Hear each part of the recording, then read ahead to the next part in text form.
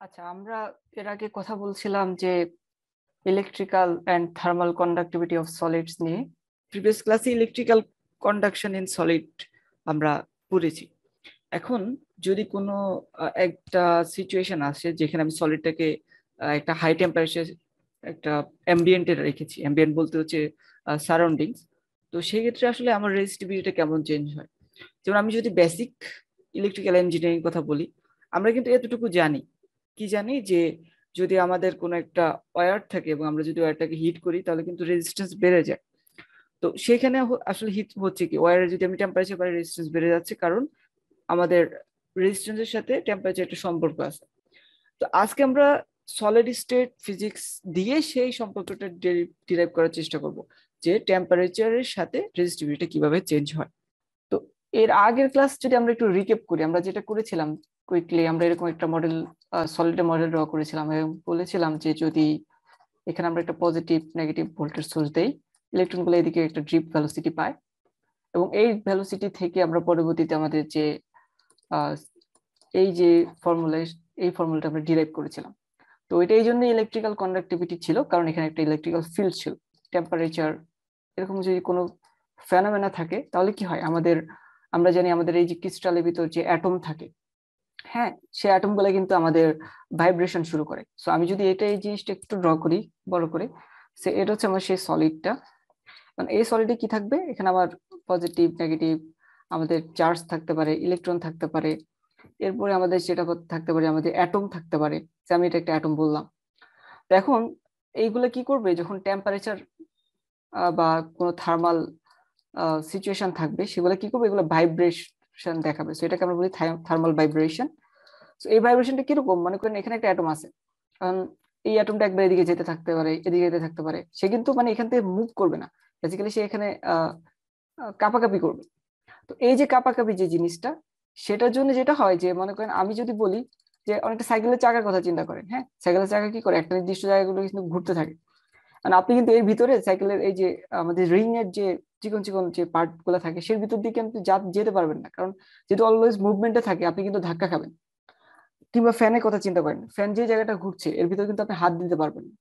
Similarly এই যে thermal ভাইব্রেশনটা হচ্ছে, এই সিচুয়েশনে এই পার্টের ভিতরে কিন্তু কোনো ইলেকট্রন যদি যেতে চায়, সে কিন্তু হিউজ পরিমাণে একটা কি করবে পুশ খাবে। এটাকে আমরা বলি স্কেটারিং যে আমাদের থার্মাল স্কেটারিং যে থার্মাল ভাইব্রেশনের জন্য আমার অ্যাটমগুলো মুভ করছে ভাইব্রেট করছে, এবং সেইখানে যদি আমার ইলেকট্রন যাই সেটা কিন্তু ধাক্কা খাবে। তো আমরা স্ট্রাকচারটাকে এভাবে ধরতে পারি যে মনে করেন এটা একটা সেই এইখানকার যে অ্যাটমটা সেটা হচ্ছে এটা। সো আমি যদি একটু থ্রি ডিতে আঁকা ট্রাই করি সে ফর ইনস্ট্যান্ট এটা হচ্ছে সেই অ্যাটমটা এবং এটা হচ্ছে তার সেই ভাইব্রেশন যে পোর্শনটাতে করছে সেই পোর্শনটা সো এটা টোটালি মনে করেন যে একটা আমাদের বেলুনের একটা সাইড এবং এই যে পার্ট টোটাল পার্টটা এই টোটাল পার্টে ইলেকট্রন যদি যায়, সে ধাক্কা খাবে। তো আমি যদি একটু ইলেকট্রনের ট্রাজেক্টরি চিন্তা করি ট্রাজেক্টরি মানে হচ্ছে গতিপথ। সো সে একটা ইলেকট্রন এই জায়গায় আসছে, আসার পর সেখানে ধাক্কা খেলো। ধাক্কা খাওয়ার পর কি করল? সেখান থেকে এদিকে মুভ করল। এখন যেটা দেখা গেল যে এইদিকে আরও এরকম, আরও একটা অ্যাটমের মতো স্ট্রাকচার থাকতে পারে। সো আমি যদি এটাকে একটু ডটেড বলি, এখানেও এর হচ্ছে যে সেই ভাইব্রেশন সিচুয়েশন সো কি হবে? এখন কিন্তু সে এখানে এসে আরেকটা ধাক্কা খেয়ে সেখান থেকে দেখতে বের হয়ে যাবে। তো এই যে টোটাল এটা হচ্ছে আমি একটা স্কেটারিং বলতে পারি। স্কেটারিং এখানে একটা হচ্ছে। এরপরে এখান থেকে স্কেটার হয়ে সে এই জায়গায় আসছে। সেটাকে স্কেটারিং ওয়ান বলি। এটা হচ্ছে আমাদের স্কেটারিং টু সো এখানে সে এসে আবার আরেকটা ধাক্কাকে কিন্তু চলে যাচ্ছে।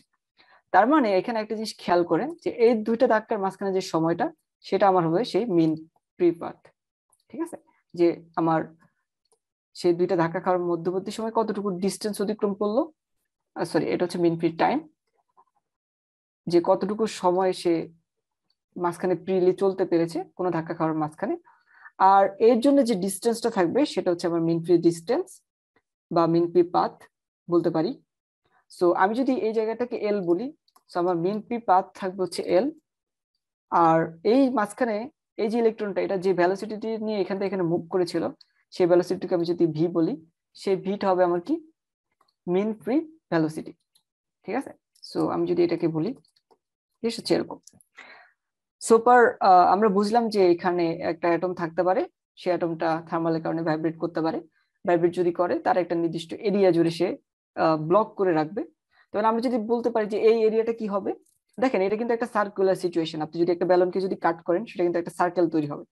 আমি বললাম যে এখানে যে সারফেস এরিয়া যেটা, সেই এরিয়াটাকে বা সেকশনাল এরিয়া সো আমি যদি সেকশনাল এরিয়া চিন্তা করি সো এই সেকশনাল এরিয়াকে আমি এস দিয়ে প্রকাশ করলাম, এটা কিন্তু হবে পাই এ স্কোয়ার রাইট এখন এ কেন? ধরলাম যে এই যে এখানে যে ডিস্টেন্স যেটা এর যে পার্টটা এটা হচ্ছে আমার এ সো পাই আর স্কোয়ার যেটা, সেটার পরিবর্তে আমরা পাই এ স্কোয়ার ইউজ করতেছি। আচ্ছা তো এই যে পাই এ স্কোয়ার, এই যে সেকশনাল এরিয়া এই সেকশনাল এরিয়াটা আমার টোটালি ভাইব্রেশনের কারণে ব্লক তো এখন আমি যদি বলি যে এই যে জায়গাটা এইটাখানে যে স্কেটারিংটা করছে, আর এই যে অ্যাটমটা এই অ্যাটমটা একটা হচ্ছে যে আমার স্কেটারিং সেন্টার এটা বলতে কি বোঝাচ্ছি? যে স্কেটারিং সেন্টার হচ্ছে এই অ্যাটমটা যেটা চারদিকে একটা নির্দিষ্ট এরিয়া জুড়ে সে কভার করে রাখছে। এবং এর ভিতর যদি ইলেকট্রন এসে আসে, তাহলে সে ধাক্কা খাচ্ছে। তো এটা টোটাল একটা স্কেটারিং এরিয়া যে এর ভিতর, এই এরিয়ার ভিতরে যেই ঢুকবে, সে স্কেটার্ড হয়ে যাবে। যে ইলেকট্রন আসবে সেই স্কেটার্ড হয়ে যাবে। আর এটার মাঝখানে যেহেতু অ্যাটমটা সো এটা হচ্ছে আমার সেই স্ক্যাটারিং সো মনে করি আমাদের যে কনসেন্ট্রেশন যেটা, সেটা হচ্ছে যে এন এস নাম্বার অফ আমাদের স্ক্যাটারিং সেন্টার এই পাথটা কোথায় চিন্তা করি? এর পাথে কি আছে? এল ডিস্টেন্সের ভিতরে, এই দুইটা স্ক্যাটারিং মাঝখানে আমার এল ডিস্টেন্স আছে রাইট সো আমি যদি এভাবে চিন্তা করি যে মিন পি পাথ যেটা, সেটা হচ্ছে এল সেটা হচ্ছে কি? ভেলোসিটি ইন্টু টি কারণ আমরা জানি যে ভেলোসিটি সমান হচ্ছে কি? স্মরণ বাই সময় সো এল বাই হচ্ছে টাউ সো এটাকে টি না বলে আমরা টাউ বলতে পারি। মিন পি পাথ সমান mean free velocity into mean free time তো এটা আসলে এখান থেকে আমরা এটা বুঝতে পারছি। এখন আমরা যদি চিন্তা করি, এই জায়গায় আসলে কয়টা স্কেটার হচ্ছে দেখেন? আমি যদি চিন্তা করি, এখানে কিন্তু একটা স্কেটারিং হচ্ছে, যে আমি টোটাল মানে টোটালটা কিন্তু একটা স্কেটারিং প্রসেস আমি এখান থেকে যদি শুরু করি, এখান থেকে সে প্রথমে প্রিলে যাচ্ছিল, যাওয়ার পর একটা স্কেটারিং হয়ে বের হয়ে যাচ্ছে। তাহলে আমার টোটাল একটা স্কেটারিং হচ্ছে। এখন যদি টোটাল স্কেটারিং ধরি, আমরা যদি এভাবে চিন্তা করি যে মনে করেন, ভলিউম আমরা কি জানি? যে দৈর্ঘ্য ইন্টু প্রস্থ ইন্টু উচ্চতা অথবা এরিয়া ইন্টু আমাদের লেংথ সেটা আমাদের ভলিউম। তো এখানে এরিয়া আমরা জানি, সেটা কি? সেকশনাল এরিয়া আমরা জানি এস লেংথ কত? লেংথ আমি জানি mean free path so L so আমার এস এল যেটা, এখন যদি আমি এই জিনিসটাকে এভাবে লিখি, যে এস এল সেটাই কিন্তু আমার কি? ভলিউম। আমি বলছি কি কনসেন্ট্রেশন আপনারা জানেন কনসেন্ট্রেশন মানে কি? যে আমাদের ভলিউমের সাথে জিনিসটা রিলেটেড রাইট সো যদি এমন হয় যে আমরা যদি বলি যে এই যে এল ডিস্টেন্স এই এল ডিস্টেন্সের মাঝখানে যে জায়গাটা, এই জায়গাটায় শুধুমাত্র একটা স্কেটারিং হতে পারবে। ইন দ্যাট কেস আমার কি হবে? যে টোটাল আমার টোটাল যে ভলিউম, সেই ভলিউমে আমার যদি যতগুলা স্কেটারিং সেকশন আছে, সবগুলা মিলে আমাকে সর্বোচ্চ একটা স্কেটারিং দিবে। এনএস কনসেন্ট্রেশনের একটা সলিডে যেখানে এনএস হচ্ছে স্কেটারিং সেন্টার যদি ভলিউম আমি এস ধরি, সেক্ষেত্রে আমার এই টোটাল ভলিউমে যতগুলো স্কেটিং সেকশন আছে, সবগুলো মিলে আমাকে একটা স্কেটিং দিচ্ছে। সো আমি এটা কনসিডার করলাম। কারণ এখানে দেখতে পাচ্ছি একটা স্কেটিং হচ্ছে টোটাল আচ্ছা যদি তাই হয়, আমি যদি এখানে একটু নিয়ে আসি, আমি এল এর জন্য কি পেয়েছিলাম? লেংথ সমান কি? V into tau so V into tau into N S so এটাকে আমি ডট দিয়ে লিখি N S equals one sorry একটু এক্সকিউজ করবেন এস এরপর হচ্ছে যে V tau N S equals one এখান থেকে আমি কি পাই আমি যদি নিয়ে আসি tau equals one by S V N S one by S S কে আমি এভাবে লিখতে পারি আমি জানি এস হচ্ছে আমার sectional area that was pi A square into V into N S তো এখান থেকে আমি একটা জিনিস কনক্লুড করতে পারি সেটা কি? আমার মিন প্রি পাথটা আমার যে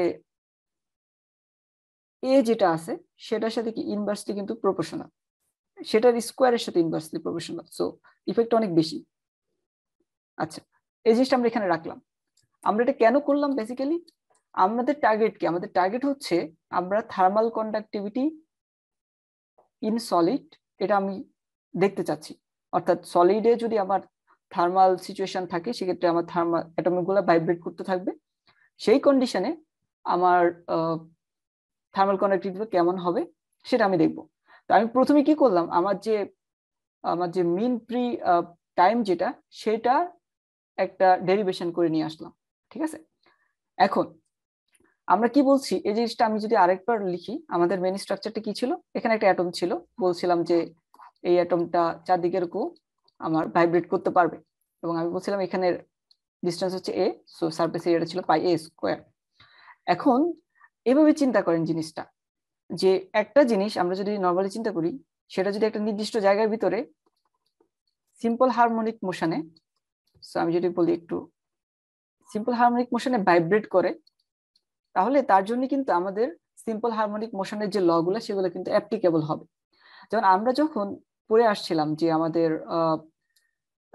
স্প্রিং এর ক্ষেত্রে স্প্রিং যদি চিন্তা করি, আমাদের যে কাইনেটিক এনার্জি ছিল in simple harmonic motion situation সেটা কেমন ছিল? সেটা কিন্তু এরকম ছিল যে আমরা বলতাম যে one by four M A square omega square আপনারা মনে আছে কিনা? জানি না। ইন্টারমিডিয়েট লেভেলের এটা ফিজিক্স আমাদের কাইনেটিক এনার্জিটা এরকম হতো। তো আবার আমরা এরকম পড়ে আসছি যে আমাদের নর্মাল যে ইন আ সলিড আমাদের যে ইলেকট্রনগুলা থাকে, আমরা বলে আসছিলাম যে ইলেকট্রনগুলা গ্যাসের মতো বিহেভ করে। So electron behaves like gas so গ্যাসের জন্য কি হয়? গ্যাসের এনার্জি আমরা কিন্তু সূত্র জানি, তাই না? গ্যাসের এনার্জি সূত্রটা কেমন? হাফ কেটি আমরা কিন্তু গ্যাসের জন্য এই জিনিসটা পাই। সো আমি যদি ই কে বলি বা কাইনেটিক এনার্জি যেটাই বলেন আপনারা, যেভাবে প্রকাশ করেন এটাকে কি, কে বললাম? সো কাইনেটিক এনার্জি কি হচ্ছে? হাফ কেটি গ্যাসের জন্য। আবার যখন একটা সিম্পল হারমোনিক মোশন মনে করেন একটা স্প্রিং কে ধরে আপনি ছেড়ে দিলেন, অথবা আমরা সরল দোলকের কথা বলে আসছিলাম সেম সেম সিচুয়েশনগুলো কিন্তু আমার সিম্পল হারমোনিক মোশনের জন্য এই কাইনেটিক এনার্জি দিবে। সো আমরা একটা জিনিস ড্র করতে পারি। সো আমরা এই জিনিসটাকে ধরতে পারি যে এই দুইটা এনার্জি অলমোস্ট ইকুয়ালস হবে। কেন এটা করলাম?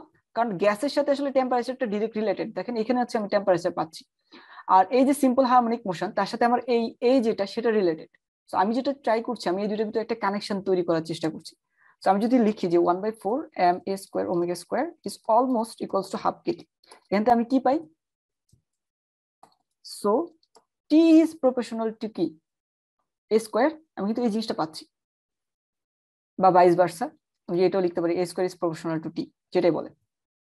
আচ্ছা সো আমি একটু আগে একটা জিনিস ডিরাইভ করে নিয়ে আসছিলাম। এটা যদি ইকুয়েশন আমি এটাকে সেই ইকুয়েশন ওয়ান দিলাম। তাহলে আমি জানি কি? আমার যে মিন পি টাইম যেটা, সেটা কিন্তু এ স্কোয়ারের ইনভার্সলি প্রপোর্শনাল সো আমি একটা জিনিস বলে দেই, আপনারা এটা মাথায় রাখবেন যে এই এ যেটা, সেটা মূলত কি? যে অ্যামপ্লিটিউড নিয়ে সে আসলে এখানে আর কি ভাইব্রেট করতেছে। সো আমি যদি মনে করি, মনে করেন আপনারা যদি আমাদের নর্মাল একটা সাইন ওয়েভের কথা চিন্তা করেন সো এখানে বেসিক্যালি এ যেটা, সেটা হচ্ছে এখান থেকে এখানে আমাদের যে অ্যামপ্লিটিউড সেটা হচ্ছে এ সো আমি এখন যদি চিন্তা করি যে ফ্রম ইকুয়েশন ওয়ান আমরা জানি কি ইকুয়েশন ওয়ানে কি ছিল? Tau is proportional to one by A square যদি tau one by A square সাথে প্রপোর্শনাল হয়, এখন আমরা এই ল থেকে কি জানি? এই ল থেকে ওয়ান বাই টি সে টেম্পারেচারের সাথেও কিন্তু প্রপোর্শনাল সেটা আমরা ধরতেছি। আমি যদি এখানে লিখি যে টাউ ইকলস হচ্ছে সি বাই টি যেখানে সি কি? একটা প্রপোর্শনাল কনস্ট্যান্ট সেটা কিন্তু আমি এখান থেকে বুঝতে পারব। সো বুঝলাম যে এটা একটা প্রপোর্শনাল কনস্ট্যান্ট গেল। এটাকে আমি বললাম ইকুয়েশন সে থ্রি এখন আমরা আরও কয়েকটি ইকুয়েশন জানি। আমরা কি জানি? আমাদের যে ড্রিফট মোবিলিটি যেটা, সেই মোবিলিটি আমরা কিন্তু একটা ফর্মুলা জানি। সেটা কি বলে?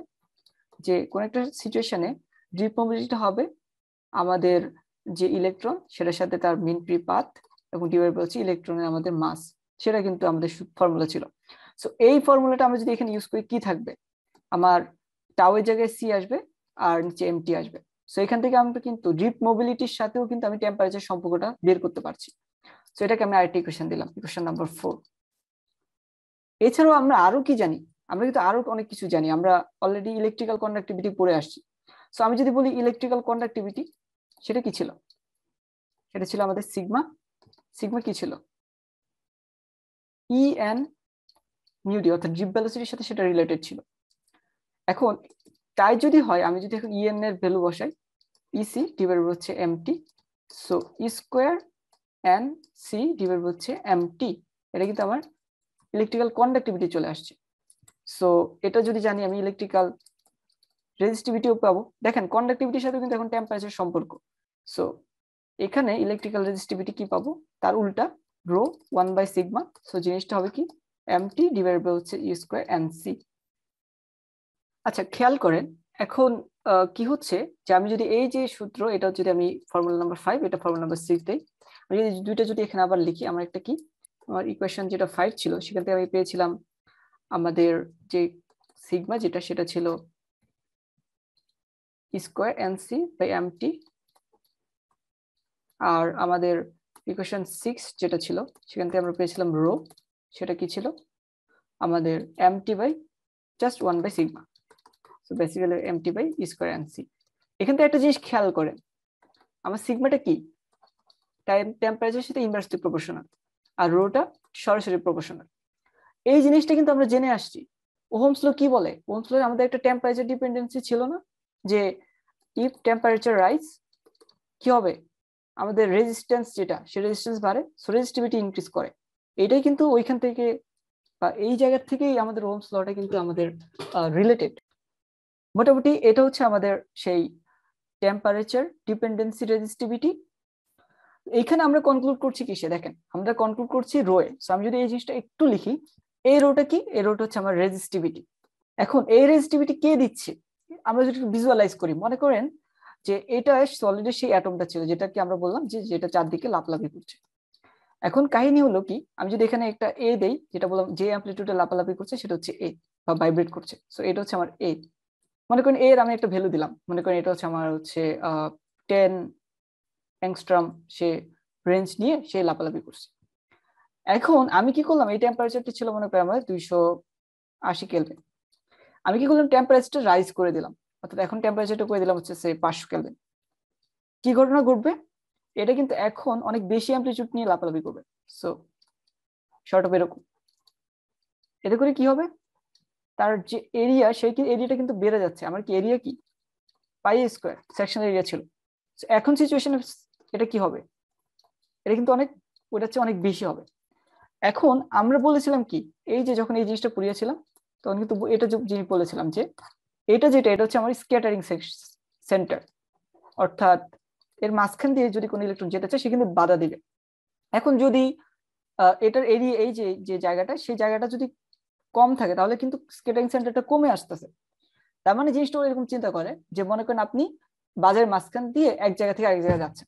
এখন বাজারে অনেকজন মানুষ আছে, তারা হচ্ছে আপনার এই অ্যাটমগুলো আর আপনি হচ্ছেন ইলেকট্রন যেটা হলো, হুট করে বাজারে দেখা গেল কোনো একটা ঘটনা ঘটলো, আমি বললাম সে ঘটনা হচ্ছে টেম্পারেচার ইনক্রিজ এখন কি করল, মানুষ যেগুলা, সে মানুষগুলো ছোটাছুটি বেশি শুরু করল। অর্থাৎ বেশি অ্যাম্পলিটিউড নিয়ে এইখানে যেরকম, সেরকম। এখন কিন্তু আপনার একদিক থেকে বাজারের আরেক দিকে যেতে কিন্তু আপনার খবর হয়ে যাবে, আপনার অনেক কষ্ট হবে।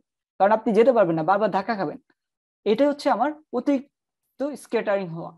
এই জন্যই দেখা যাচ্ছে ইলেকট্রন এক জায়গা থেকে আরেক জায়গায় যেতে পারছে না। এবং এই জন্যই কিন্তু আমার রেজিস্ট্যান্সটা বেড়ে যাচ্ছে। সো টেম্পারেচার বাড়াচ্ছি, যে অ্যাটমগুলো আছে সেগুলো ভাইব্রেশন বেড়ে যাচ্ছে। অ্যাটমের ভাইব্রেশন বেড়ে যাওয়াতে ইলেকট্রনগুলো বেশি স্কেটারিং হচ্ছে। কারণ অ্যাটম তখন বেশি জায়গা জুড়ে ভাইব্রেট করছে ইলেকট্রন যাওয়ার মতো পাত কমে যাচ্ছে। এতে করে কিন্তু আমার রেজিস্ট্যান্সটা বেড়ে যাচ্ছে।